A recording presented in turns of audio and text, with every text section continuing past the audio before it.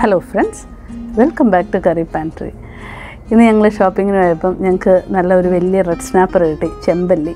അപ്പം വിചാരിച്ചു ഞാനതിനെ ഫുള്ളായിട്ടും ബേക്ക് ചെയ്തെടുക്കാമെന്ന് വിചാരിച്ചു. പണ്ട് ഞങ്ങൾ ഫോർട്ട് കൊച്ചിയിലിങ്ങനെ ഇങ്ങനെ പോകുന്ന ഉടനെ അവിടെ നമ്മൾ അന്നേരം തന്നെ ഇങ്ങനെ ഫിഷ് പിടിച്ച് അവർ നല്ലതായിട്ട് ഗ്രില്ല് ചെയ്തോ വറുത്തോ ഒക്കെ തരുമായിരുന്നു അത് അവർ റെഡ് സ്നാപ്പർ ആയിരുന്നു അവർ അധികവും തരുന്നത്. അതുകൊണ്ടാണ് ഞാൻ ഇവിടെ വന്ന് റെഡ് സ്നാപ്പർ കാണുന്നുണ്ടെന്ന് വിചാരിക്കും ഇത് മേടിച്ച് ഇങ്ങനെ മുഴുവനായിട്ട് ബേക്ക് ചെയ്തെടുക്കാമെന്ന്. അപ്പം ഈ ഇവിടെ അത്ര ഫ്രഷ് ഫിഷൊന്നും ഇവിടെ അങ്ങനെ കിട്ടത്തില്ല. എന്നാലും ഇവിടുത്തെ ഈ റെഡ് സ്നാപ്പർ നല്ല ടേസ്റ്റിയാണ് അപ്പം ഇത് ഞാൻ നല്ല മുഴുവനായിട്ട് ബേക്ക് ചെയ്ത് ഇത് പുറം നല്ല മൊരിഞ്ഞും അകം നല്ല ജ്യൂസി ആയിട്ടും ഇരിക്കുന്ന ഒരു റെസിപ്പിയാണ് അപ്പം നിങ്ങളെല്ലാവരും ഇത് ട്രൈ ചെയ്ത് നോക്കുക. അപ്പം നമുക്ക് വീഡിയോയിലേക്ക് പോകാം.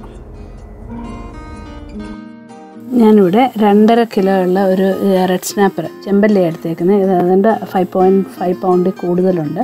നിങ്ങൾക്ക് ഏത് മീൻ വേണമെങ്കിലും യൂസ് ചെയ്യാം. പക്ഷേ റെഡ് സ്നാപ്പർ ഗ്രില്ല് ചെയ്യാനും ബേക്ക് ചെയ്യാനും ഒക്കെ നല്ല ടേസ്റ്റുള്ളൊരു മീനാണ് പിന്നെ വേണ്ടത് രണ്ട് മീഡിയം സവാള നീളത്തിലരിഞ്ഞത് രണ്ട് ക്യാപ്സിക്കം ഞാനിപ്പോൾ റെഡും ഗ്രീനും കൂടെ മിക്സ് ചെയ്താണ് എടുത്തേക്കുന്നത് രണ്ട് മൂന്ന് തണ്ട് സ്പ്രിംഗ് ഓണിയൻ കുറച്ച് പാസ്ലി നാരങ്ങ നീര് ഒരു ടേബിൾ സ്പൂൺ കുറച്ച് ഉപ്പ് പിന്നെ വേണ്ടത് ഒരു കപ്പ് ഓയിൽ ഞാനിവിടെ ആവക്കാട് ഓയിലാണ് യൂസ് ചെയ്യുന്നത് നിങ്ങൾക്ക് ഏത് ഓയിൽ വേണമെങ്കിലും ഒലിവ് ഓയിലോ വെജിറ്റബിൾ ഓയിലോ ഏത് ഓയിൽ വേണമെങ്കിലും യൂസ് ചെയ്യാം. പക്ഷേ വെളിച്ചെണ്ണ ഇതിന് അത്ര നല്ല കോമ്പിനേഷൻ അല്ല.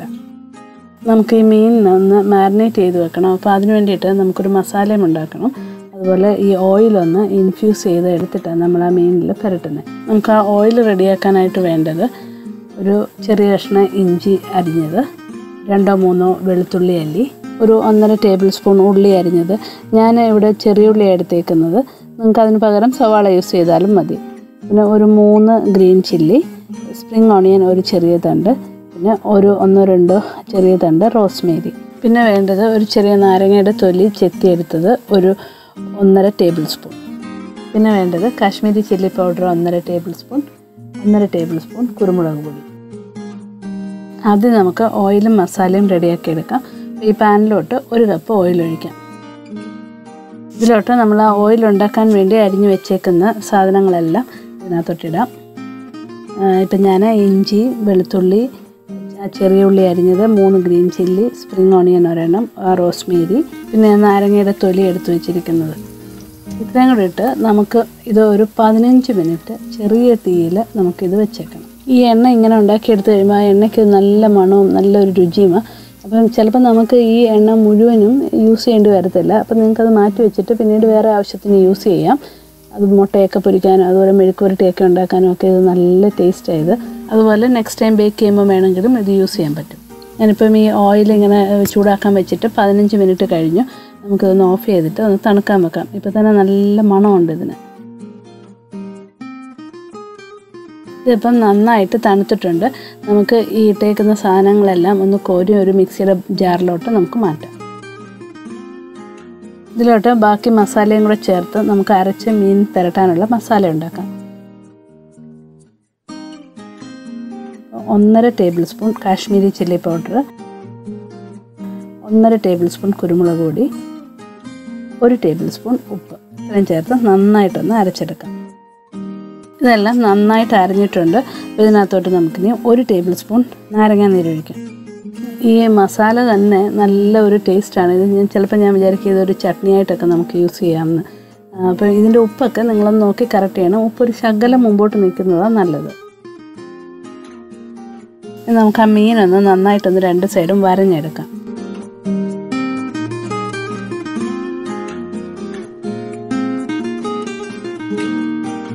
ഈ മീൻ നന്നായിട്ട് ക്ലീൻ ചെയ്ത് അതിന്റെ അകമൊക്കെ നല്ല ക്ലീൻ ആക്കി വെച്ചേക്കുക ഞാൻ ക്ലീൻ ചെയ്ത് നല്ലതായിട്ടൊന്ന് തുടച്ചെടുത്ത്. അപ്പം വെള്ളം ഒട്ടും ഇല്ലാതെ അങ്ങനെ തുടച്ച് റെഡിയാക്കി എടുത്തതാണ് ഈ മീനിലോട്ട് ആദ്യം നമുക്ക് നമ്മൾ ഉണ്ടാക്കി വെച്ചേക്കുന്ന ഓയിൽ ഇതിന്റെ മുകളിലോട്ടൊന്ന് ഒഴിച്ച് നന്നായിട്ട് ഗ്രീസ് ചെയ്യാം. ഓയിൽ ഇച്ചിരി നല്ലതായിട്ട് പുരട്ടണം. ഈ അകത്തും എല്ലാം നന്നായിട്ട് പുരട്ടണം.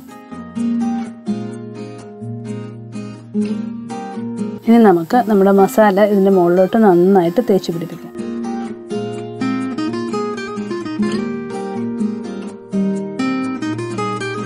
ഈ മീനിന്റെ അകത്തും ഈ വരഞ്ഞ ഭാഗത്തും ഒക്കെ മസാല നന്നായിട്ട് പിടിക്കത്തക്ക പോലെ നല്ലതായിട്ട് തേച്ച് പിടിപ്പിച്ച് വെക്കണം.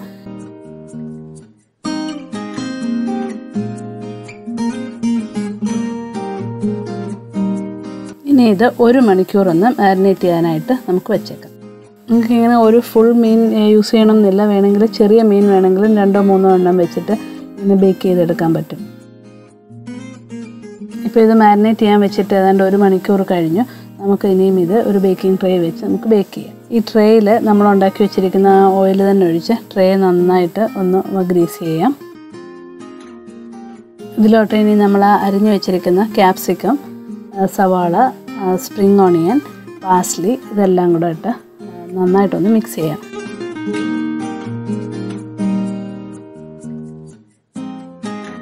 നമ്മൾ മീനിൽ പുരട്ടാനായിട്ട് എടുത്ത മസാല ബാക്കിയുണ്ടെങ്കിൽ അതും കൂടെ നമുക്ക് ഈ വെജിറ്റബിളിൽ അങ്ങ് മിക്സ് ചെയ്യാം.